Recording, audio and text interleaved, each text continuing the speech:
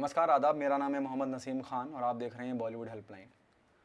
कभी यार कभी पार लागा तीरे नज़र। जिस शख्सियत पे ये गाना पिक्चराइज हुआ और जिस शख्सियत ने अ, मदर इंडिया जैसी फ़िल्म की सीआईडी जैसी फ़िल्म का हिस्सा रही प्यासा का हिस्सा रही मैं बात कर रहा हूँ जेबुन निसा उर्फ़ कुमकुम की। आज उनका इंतकाल हो गया।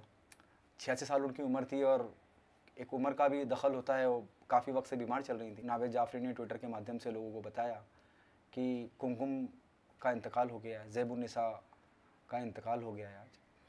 ये वो शख्सियत है जिन्होंने मुझे लगता है कि फ़िल्म इंडस्ट्री को एक नए आयाम दिए, एक नया नज़रिया दिया। ये वो शख्सियत हैं जब मैं जेबुन्निसा कुमकुम की बात करता हूँ, जिन्होंने सिर्फ़ एक गाने को करके अपनी मकबूलियत हासिल करी, अपना मकाम बनाया।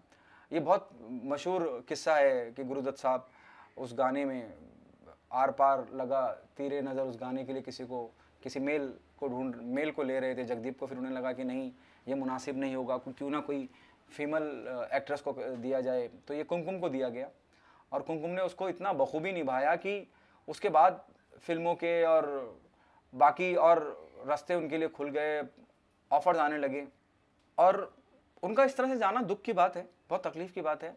और उससे ज़्यादा तकलीफ़ की बात यह है कि जब इस तरह से कोई आर्टिस्ट दुनिया को छोड़ के जाता है गिने चुने लोग जो सोशल मीडिया के माध्यम से इस बात की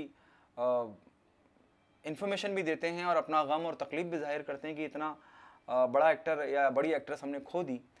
वहीं मैं देखता हूँ कि बहुत से लोगों को इस बात की चिंता ही नहीं रहती कि कौन है और कौन चला गया।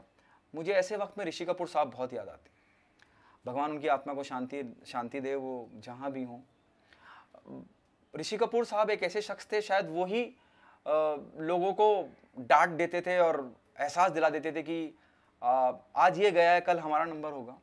यहाँ कुमकुम के केस में तो कुछ ऐसा है कि अ, लोगों को पता ही नहीं है वो रहती कहाँ है। हिंदी फ़िल्म इंडस्ट्री के लोगों को कितना फ़र्क पड़ा है उस बात का मुझे अफसोस है। वैसे सदी के महानायक अमिताभ बच्चन हों आमिर खान हों अक्षय कुमार हों सलमान साहब हों बहुत से बड़े दिग्गज लोग हैं। और कुछ परिवारवाद का झंडा लेके जो दौड़ रहे हैं आजकल, वो भी बहुत लोग हैं। लेकिन किसी को इतनी बड़ी एक्ट्रेस इतनी बड़ी अदाकारा जाने की खबर भी नहीं है कि कुछ ना करके सोशल मीडिया पे दो लाइनें तो लिखी जा सकती हैं। ये ये इंसानियत का तकाजा भी है, जिस इंडस्ट्री का आप हिस्सा हैं, वो भी आपसे यही कहती है कि प्यार बांटिए स्प्रेड लव कुमकुम एक बेहतरीन एक्ट्रेस थी और उन्होंने अपने वक्त में जो नाम कमाया वो बहुत काबिल तारीफ़ हैं। और सिर्फ़ इतना ही नहीं, मुझे लगता है, मुझे लगता है कि यकीनन ये एक बहुत बड़ा सच है कि कुमकुम एक ऐसी अदाकारा थी जिन्होंने भोजपुरी फ़िल्मों का, को जन्म दिया। पहली फ़िल्म उन्होंने भोजपुरी फ़िल्म की नाइनटीन थ्री में। और उसके बाद भोजपुरी फ़िल्मों का बनना या निर्माण चालू हुआ।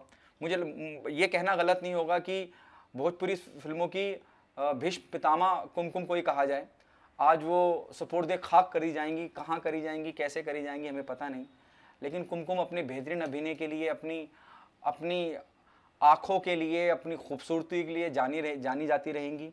और शायद कुमकुम ना होती तो मदर इंडिया भी नहीं होती। उसकी वजह यही है, अगर लाला की बेटी का जो किरदार, उन्होंने जो नटखट किरदार जिया है, मुझे नहीं लगता कोई जी सकता है।